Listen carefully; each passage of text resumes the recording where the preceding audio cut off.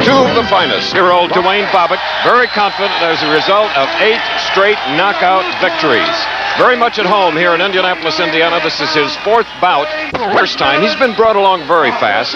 In a little over a year, he left Madison City, Arkansas, went to Knoxville, Tennessee, and represented the United States on the Olympic team where he was a bronze medalist. And like Bobick, was stopped by Teofilo Stevenson. The referee by the bell, except, of course, the end of the 10th round. The referee and the two judges do the scoring. The referee is uh, experienced and very good George DeFabus of Indianapolis. The judges are Joe Segru and Tom Catterson. All right, Duane Bobick in the red trunks on the left uh, is 6'3". His opponent, 24 years old, is 6'4", and weighs 22 pounds more. Now, he's an upright fighter, John Tate. He likes to throw punches with both hands. Bobick, as you saw in our up close and personal, is vulnerable to a hard right hand, especially preceded by a left hook to the body. So this is what he, I hope, has learned in order to stay long with young John Tate. This is round one if you just joined us. And Tate is really opening up, and Bobick has felt the punches already. Bobick, who does cut. Much too often here early in the first round. Duane Bobick is a very slow starter, and this has been a problem. He has a he has a total of 16 second round knockouts. He's in trouble right now. He may go down. This is the first round. Tate is landing everything. Shades of Kenny Norton. Remember, Norton did it in 58 seconds, and now Tate is trying to get through the heavy punch. He also could be wearing himself out, but Bobick is catching the ball now. And down on one knee, and George DeFabus, the referee. Here's a manda mandatory eight count. Here in this round. We have about a minute and a half, and Bobick now legitimately goes down. Bobick in severe trouble. And unfortunately, look at the time left. Little less than a minute and 20. He looks to his corner what to do. They can't help. It's up to the 28-year-old heavyweight hopeful. And Tate is unloading with everything. Out of range right now, but getting in close.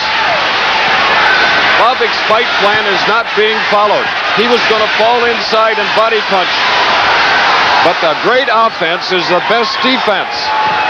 Now, we're less than a minute to go in round one. Bobick has been down once already and catching the punches. Oh, George DeFabus. Perhaps George DeFabus. George DeFabus, the referee, and as we look at the rubbery, spaghetti-like legs of Duane Bobick, we think he made a wise decision. At first, oh no, look at Bobick. Duane Bobick, what a pity. This is a heavyweight that has scored himself 42 knockouts. Now he's been knocked out three times in 51 fights and around the 2 minute and 16 second mark of round one.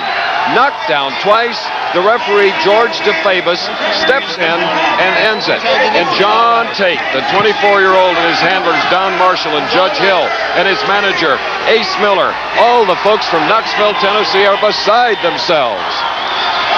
Let's go back and in slow motion, look at the punishment by the 24-year-old. A right hand lead, another right hand lead. And that always indicates that an opponent is in trouble. Four successive right hand leads, unheard of in boxing. But we told you Tate was confident. So George DeFabus, George DeFabus didn't step in any too early, believe me. Well, we did a Sonny Liston, Floyd Patterson fight at Comiskey Park that ended in a similar fashion. And now here we have another. This, of course, a non-title bout, but it was pivotal for these two. Tate with the overhand rights, and it was Ken Norton who did the very same thing to Bobick as did Knoetze of South Africa. His only two losses.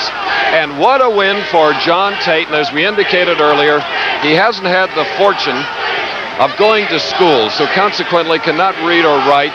He is likable, and when we get a chance to talk to him, you'll see a smile that closely resembles that of Muhammad Ali, almost as